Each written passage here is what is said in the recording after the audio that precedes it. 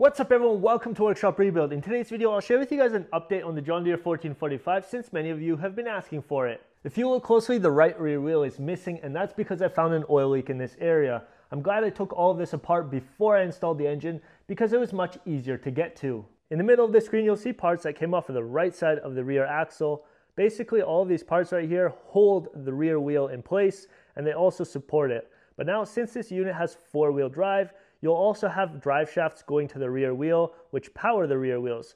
Now all these parts right here contribute to that system and it is a very nice option, but when it comes time to repair something, it could be really costly. In my case, all of these parts can be reused and the only parts that I have to replace are basically some lip seals, which are the bigger lip seals in this box, and then some sleeves where the lip seals ride on. I was fortunate enough to find these at John Deere and they had everything in stock and I'm really happy. Uh, there is one more O-ring that I will be replacing and that is for the axle housing itself. And then up above we also have the uh, gasket that goes up against this gear case cover. I cleaned this off nicely so I can replace it with a brand new gasket. So I'm going to grab my tools and start with this rear axle repair. Let's kick things off by installing a seal sleeve onto this upper control arm. It's not just any sleeve, it comes with a rubber coated inner diameter.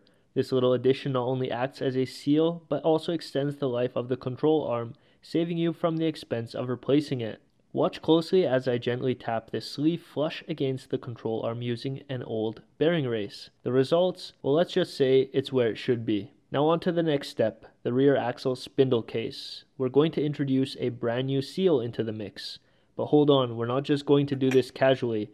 We're using an arbor press to ensure that the seal goes on straight and snug especially since the spindle case is made of lightweight aluminum. With the seal in place, it's time to reunite the spindle and the spindle case. And of course, I'm calling the arbor press for some assistance once again. But wait, there's more. Now it's time to install a deep groove ball bearing, the part that supports the spindle within the spindle case. And guess what? It does it very smoothly.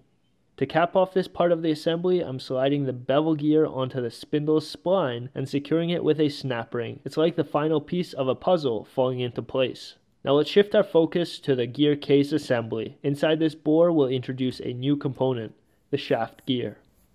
At the end of the shaft, we'll snugly fit a ball bearing, which will support the shaft's rotation within the gear case. There's one more ball bearing making its entrance, and it's taking a spot within the gear case.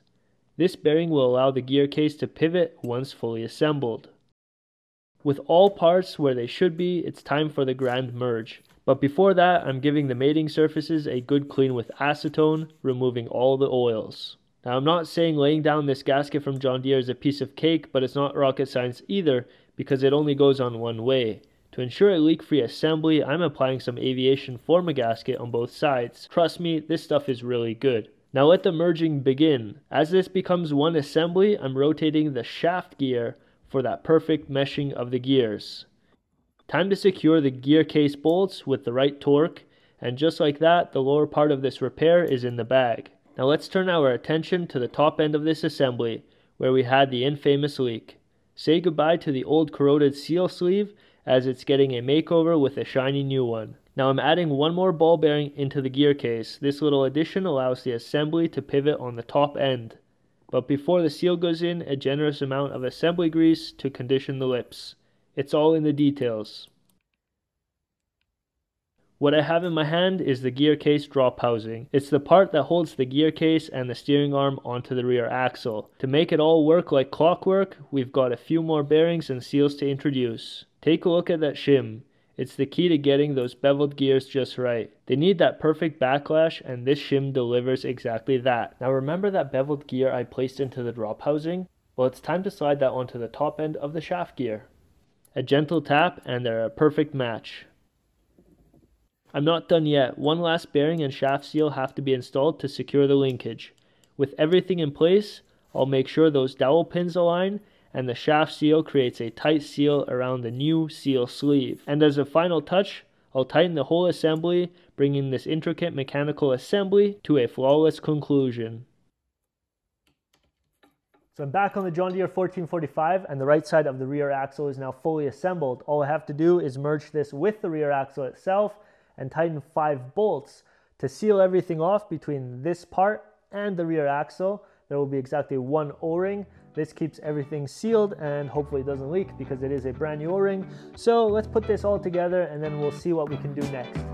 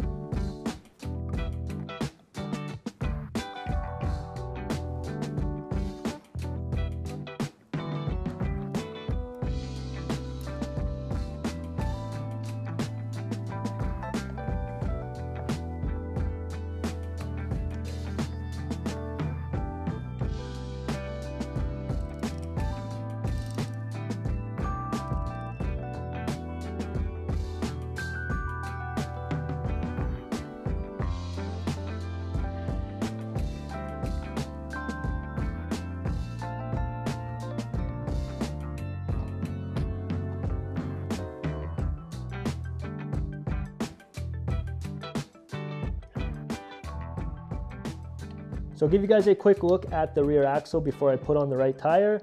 This is the portion I repaired with brand new seals and sleeves. Everything else was good. So the bearings, gears, shafts, and the cast parts, everything was still uh, in working order so I could reuse everything. Now this part was hooked up to the main portion of the axle and that is this part right here. It is bolted on with four bolts that go into the cast part this way and then one more bolt that goes in the other way because there wasn't enough room to put in a bolt from this side. Nevertheless, the power comes in from the front transmission, comes backwards into the differential. And this distributes power left to your left wheel and then right to your right wheel. And this is obviously only when your drive mechanism is engaged in four wheel drive. Now the steering mechanism is this right here. This is your steering cylinder. If you choose to go left or right, the cylinder will either go in or out. And that's hooked up to your steering linkage on the left.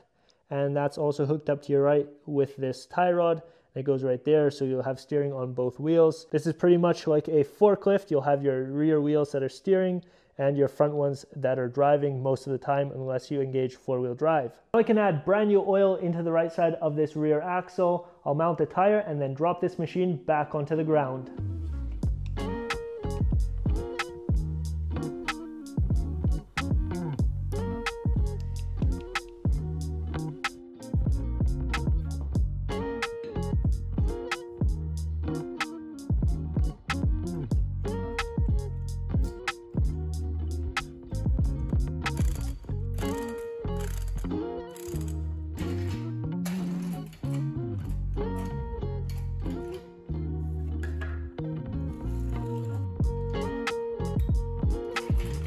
John Deere 1445 is once again on all four tires, and as you guys can tell, the rear axle reseal or the repair that I did in today's video was a success. Now there are a few more things that I have to do on this John Deere 1445, and as you guys can tell, there is a big cavity right here, and that's because I haven't installed the rebuilt Yanmar 3TNV 82A engine yet. I'm gonna do that in an upcoming video. I'm gonna be hooking up all the wiring. I'll be installing the coolant system and everything around the engine so we can make this start up for the first time. If you guys would like to see this John Deere 1445 running and driving for the first time, hit that subscribe button down below and turn on your post notifications. That way you'll be notified once I upload that video. If you guys enjoyed this video, I'd really appreciate it if you hit the like button down below. It means a lot to me and that way I can work on these projects and pump out more videos to you guys. So thank you for watching and hopefully I'll see you guys in an upcoming video. Peace.